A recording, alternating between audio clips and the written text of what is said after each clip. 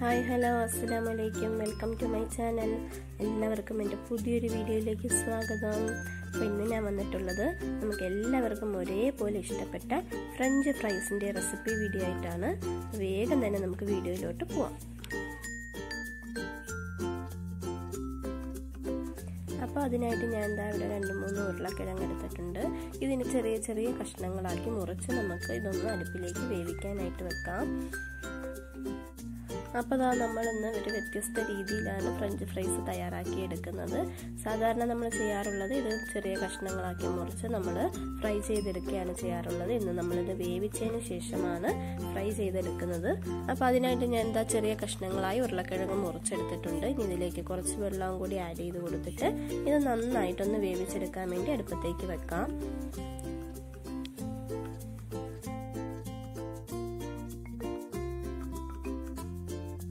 അപ്പോൾ ഇതാ ഉരുളക്കിഴങ്ങ് നന്നായിട്ട് വെന്ത് കിട്ടിയിട്ടുണ്ട്. ഇനി ഇതിന്റെ തൊലി നമുക്ക് ഇതാ ഇതേപോലെ ഇളക്കി മാറ്റാം.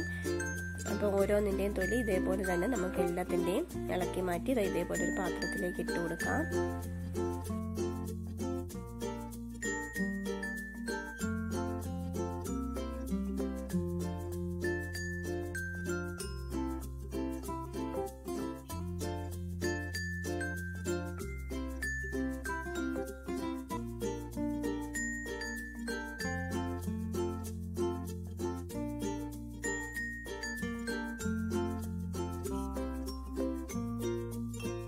ഇപ്പോൾ ഇതാ എല്ലാ കിഴങ്ങിന്റെയും തൊലി കളഞ്ഞെടുത്തിട്ടുണ്ട്. ഇനി നമുക്ക് ഇതാ ഇതൊന്ന് ഉടച്ചെടുക്കണം. ഞാൻ ഇതാ ഇവിടെ കൈ ഉപയോഗിച്ചാണ് ഉടച്ചെടുക്കുന്നത്. നിങ്ങൾക്ക് വേണമെങ്കിൽ സ്പൂൺ വെച്ചോ അല്ലെങ്കിൽ മിക്സിയിലിട്ടൊന്ന് അടിച്ചെടുക്കുകയോ ചെയ്യാം. അപ്പോൾ നന്നായിട്ട് ഉടഞ്ഞു കിട്ടും. കൈ വെച്ച് ഉടച്ചെടുത്താലും കുഴപ്പമില്ല. നന്നായിട്ട് വെന്ത കിഴങ്ങാണെങ്കിൽ ഇതേപോലെ കൈ വെച്ച് തന്നെ നമുക്ക് നല്ലതുപോലെ ഉടച്ചെടുക്കാൻ കഴിയും. അപ്പോൾ ഞാൻ എന്താ ഇവിടെ കൈ വെച്ചാണ് ഉടച്ചെടുക്കുന്നത്.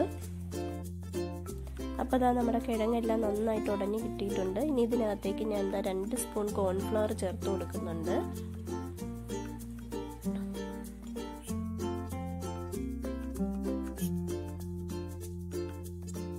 അതിനുശേഷം എന്താ ഒരു കാൽ ടീസ്പൂൺ കുരുമുളക് പൊടി ചേർത്ത് കൊടുക്കുന്നുണ്ട്. അതിനുശേഷം ഞാൻ എന്താ കാൽ ടീസ്പൂൺ ഉപ്പ് ചേർത്ത് കൊടുക്കുന്നുണ്ട്. നിങ്ങൾക്ക് എത്രയാണോ ഉപ്പ് ആവശ്യം അതനുസരിച്ച് ഉപ്പ് ചേർത്ത് കൊടുക്കാം. ഞാനിവിടെ കാൽ ടീസ്പൂൺ ഉപ്പാണ് എടുത്തിട്ടുള്ളത്. അപ്പോൾ ഇത്രയും ചേർത്തതിന് ശേഷം നമുക്ക് തന്റെ ഈ കോൺഫ്ലോറിന്റെ മാവും അതേപോലെ നമ്മുടെ ഉടച്ചു വെച്ച കിഴങ്ങും കുരുമുളകും ഉപ്പും എല്ലാം കൂടെ ചേർത്ത് ഇതേപോലെ നന്നായിട്ടൊന്ന് മിക്സ് ചെയ്തെടുക്കാം. ജസ്റ്റ് സ്പൂൺ വെച്ച് ഇതേപോലെ ഒന്ന് മിക്സ് ചെയ്തതിന് ശേഷം നമുക്ക് കൈ വെച്ച് നന്നായിട്ട് ഒന്ന് കുഴച്ചെടുക്കാം. അപ്പോൾ നമ്മുടെ ചപ്പാത്തിക്കൊക്കെ മാവ് കുഴയ്ക്കുന്നത് പോലെ ആ ഒരു പരുവത്തിന് നമുക്കിത് കുഴഞ്ഞ് കിട്ടണം. അപ്പോൾ അതിന് വേണ്ടിയിട്ട് നന്നായിട്ട് വെള്ളം ഒന്നും ചേർക്കണ്ട. വെള്ളം ചേർക്കാതെ തന്നെ നമുക്കിതെല്ലാം കൂടി ഒന്ന് മിക്സ് ചെയ്തെടുക്കാം. ഇപ്പോൾ ഇതാ നമുക്ക് ചപ്പാത്തിയുടെയൊക്കെ മാവിന്റെ പരുവത്തിൽ അത് റെഡിയായി കിട്ടിയിട്ടുണ്ട്. ഇനി നമുക്കത് ഇതേപോലെ ഒരു ബട്ടർ പേപ്പർ എടുത്ത് അതിലേക്ക് കുറച്ച് ഓയിലൊന്ന് ബ്രഷ് ചെയ്ത് കൊടുക്കാം. അപ്പോൾ ആ ഓയിലൊക്കെ ഒന്ന് ബ്രഷ് ചെയ്ത് കൊടുത്തതിന് ശേഷം ദാ ഇതേപോലെ നമ്മൾ നേരത്തെ കുഴച്ച് വെച്ചിരിക്കുന്ന ആ ഒരു ഉരുളക്കിഴങ്ങ് എടുത്ത് ദാ ഇതേപോലെ ഒരു ബോളാക്കി നമുക്ക് ആ ബട്ടർ പേപ്പറിലേക്ക് ഇതേപോലെ വെച്ച് കൊടുക്കാം. എന്നിട്ട് ആ ബട്ടർ പേപ്പർ ഇതേപോലെ ഒന്ന് ഫോൾഡ് ചെയ്തെടുത്തതിന് ശേഷം നമുക്ക് ഇതൊന്ന് പരത്തിയെടുക്കണം.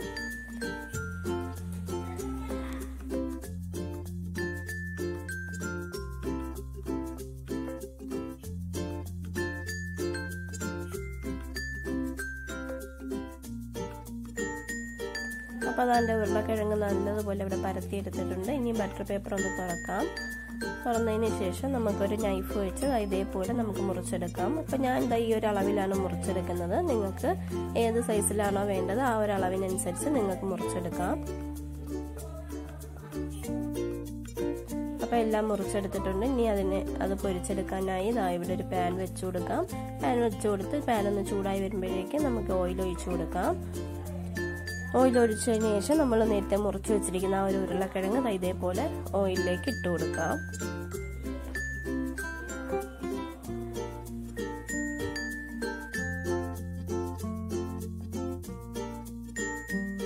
ഈ ഒരു ഗോൾഡൻ കളർ ആവുന്നത് വരെ നമുക്കിത് മറിച്ചും തിരിച്ചു വിട്ട് ഇതൊന്ന് ഫ്രൈ ചെയ്തെടുക്കാം.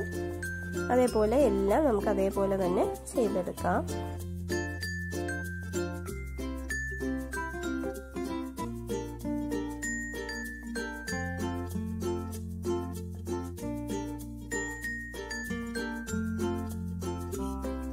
ഇപ്പോൾ ഇതാ എല്ലാം നല്ല ഫ്രൈ ആയി വന്നിട്ടുണ്ട്. നല്ല ഗോൾഡൻ കളറിലായിട്ടുണ്ട്. ഇനി നമുക്കിതൊരു പാത്രത്തിലേക്ക് മാറ്റാം.